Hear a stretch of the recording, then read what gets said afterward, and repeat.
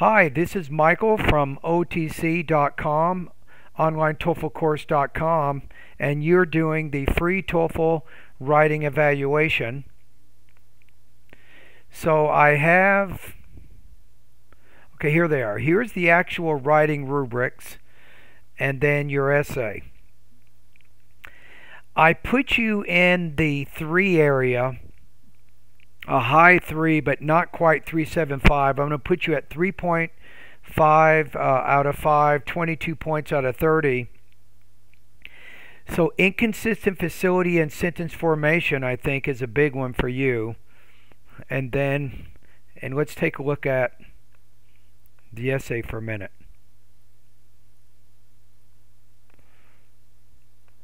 Okay, here we go. So what do we mean by by inconsistent sentence formation here, see if I can show you. Uh, you said no one can deny the importance of education in our lives.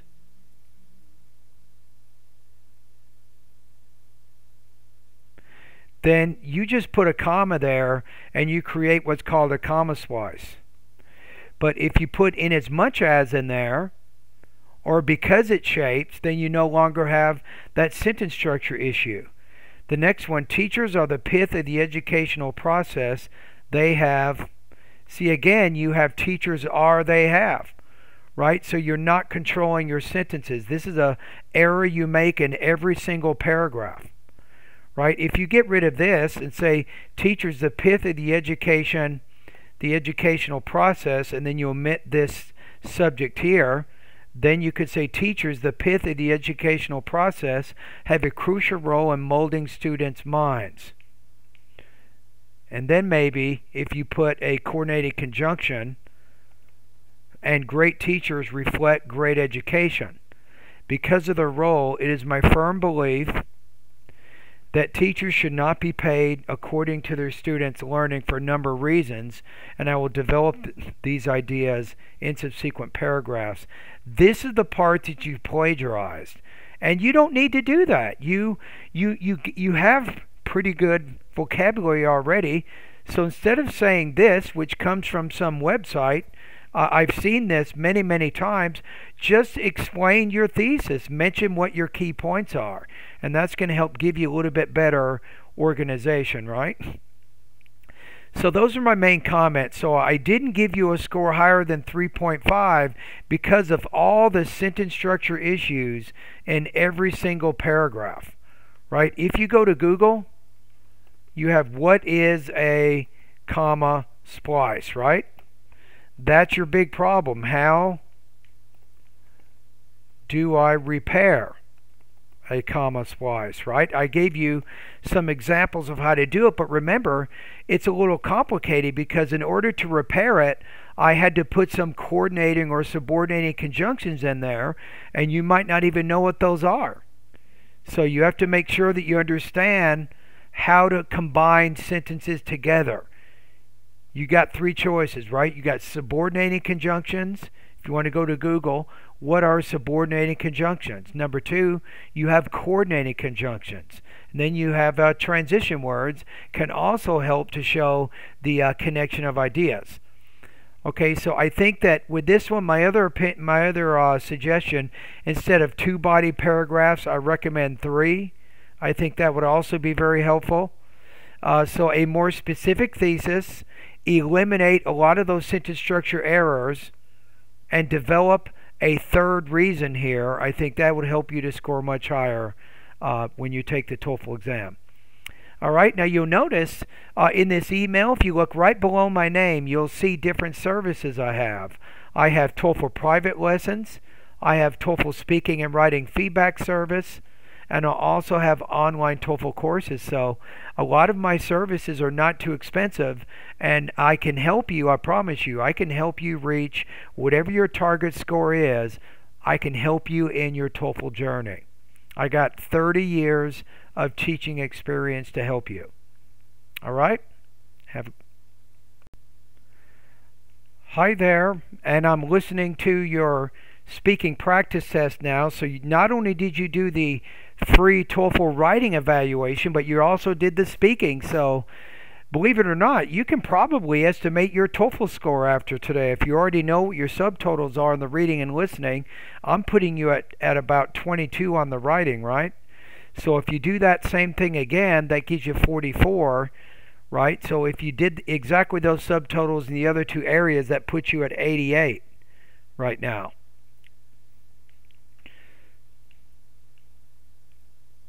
Okay, so let's see how you did on this one. I'm going to go ahead and bring your response. Let's listen to the whole thing one time. I won't make any comments at all. Then the second time I'll make comments. And the key here is, uh, okay, do you, do you, what do you think is better, group study or individual study, and then why? To me, I prefer studying with a group because it helps sharing thoughts between all of us which ensures that we will all prepare well. If someone is missing information about the exam, his friends will help him. Moreover, it's more fun. When you study when you're with your friends, you will have much better time than studying alone. It will be an activity that will help you study for longer time without getting bored. These are the reasons for my opinion. To me, I... Okay, so let's figure out... I need to figure out your uh, score here. So let's say, where is the speaking... Okay, hold on a minute. Let me find him right now. Okay, you're in the two range, my, I can tell you already. As soon as you started speaking, your thought groups are too small. You're pausing after like two or three words at the most. Too many pauses. You have to group ideas into thought groups of four to five stress words, and you're definitely not doing that. So just because of your delivery, I cannot score you at 23. Okay, let's take a look here. And I don't think you did a really good job with topic development either. So I'm going to say two here. You have unclear articulation. You have no. The the main thing is very choppy rhythm and pace. That exactly describes you right now. You're being so careful trying to pronounce all your words clearly. You're taking too many pauses in there. Now, also, mostly basic ideas are expressed with limited elaboration, details, and support. So I think because of your delivery and your topic development, I'm going to put you maybe, uh, I don't know, 15 to 16 points out of out of 30 right now. So I said that your your writing your total score might be 88, but now we got to look at say 15, 22. I don't know. You you're probably between 70 and 80. That would be my guess right now. I, I don't know your reading and listening subtotals though, but if if you look at how you did here versus how you did on the writing, and I don't know what would happen on the integrated writing task. It could be a complete disaster and drag your score down even more. But here, uh, yeah, I I think maybe 15 to 16 points out of 30 is probably a pretty accurate score. Okay, let's listen to it one more time. I'll try to give you some more feedback. Okay, let's go to the beginning here. To me, I prefer studying with a group because it helps. No, it's because it helps. Are you kidding me? You got a dependent clause in there. You can't pause after the subordinating conjunction. You have to group all those things together. That's one thought group. It's not several thought groups. If you said, "Well, I like to study in a group because I can score higher and my test and my studies will be much more efficient," right? Something like that. Sharing thoughts between all of us, which ensures that we will all prepare well. If someone... Who is we? Do you have a specific example that you can share here? You can say, hey, I was taking this biology test a few years ago and I was trying to get ready for it and I was confused by the topic of photosynthesis. Therefore, I attended a group study session, and during the group, we were able to really clarify what that concept was. And I felt much prepared for the test, much more prepared for that test ever having participated in that study group. Is missing information about the exam, his friends will help him. Moreover, it Whose friends? Why are we talking about things in a general sense? Why, why not bring your own examples in there? Right? I, me. it's more fun. When you study when you're with your friends, you will have Who is you? Why are we using you? Again, everything you're doing is distancing yourself from the speaking task. But that's not your purpose here. Your purpose is to prove through your personal experiences and the experience of people that you know, you're trying to explain why group study is better or you prefer it over individual much study. better time than studying alone. It will be an activity that will help you study for longer time without getting bored.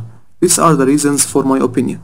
That's the best part of it at the end. If you did the whole thing like that last sentence, that would be perfect. To me, that sounded natural. Your pacing was really good. Let's listen to it again. Listen to what you just said. Without getting bored. These are the reasons for my opinion. That. That's what you should be doing the whole speaking response. These are the reasons for my opinion, or these are the reasons for holding my opinion, right? When you got to the very end there, you actually had very natural, very natural rhythm, very natural pace. It almost sounds like you were reading everything. That's how obvious it, that's how choppy it was. I mean, think about it. What if I said this? This or these are the reasons for holding my opinion. What if what if I said this to you?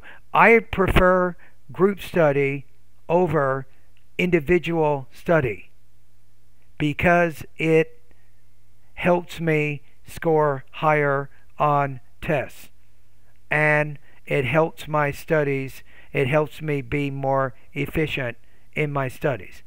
I mean if i talked to you like that you wouldn't pay more attention to me more than 10 seconds. Right? So i don't know why you did what you did. You you you you maybe you panicked and you really tried. You wanted to show show me your best response but it's just too many pauses i'm even going to adjust my score even lower the second time i'm going to put you at 2.0 out of 4 i'm going to put you at about 14 to 15 points out of 30 so don't ever Never, never do that again. That's not what you want to do with TOEFL speaking. You need more fluidity of expression. And just remember, you know you can do it. You have good pacing. How do I know? Because at the very end of your response, in that final sentence, you spoke very naturally. That's what you want to do for the whole response. All right? And uh, thank you for doing the speaking practice test. And again, like I said earlier in this video, I have some great services that can help you with your pronunciation. For example, if you were one of my students right now, I would say study thought groups and blending, lessons 41 through 44. I would tell you to study the intonation video accent reduction lessons, and that's 36 through 40. I would even tell you to study the lessons on sentence rhythm so that you learn the difference between unstressed and stressed words and you can speak more naturally. I would tell you to study all those areas. And that's typically what I do when my students complete speaking or writing practice. I have over 800 different TOEFL lessons, and I know which ones are going to help you make the improvements that you need to reach your target score. All right, and thank you for doing this practice test.